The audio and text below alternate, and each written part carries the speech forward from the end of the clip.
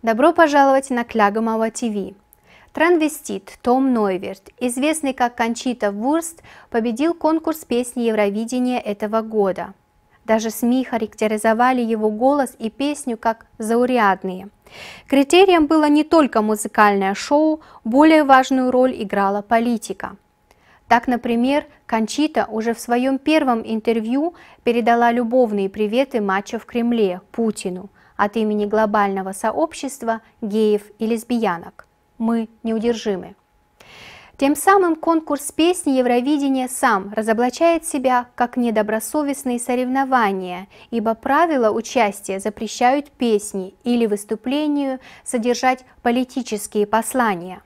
Здесь, по всей видимости, имела место целенаправленная манипуляция, чтобы под прикрытием искусства сделать приемлемой в обществе идеологию гендер, представляющую собой попытку сбросить себя биологические оковы, различия между мужчиной и женщиной.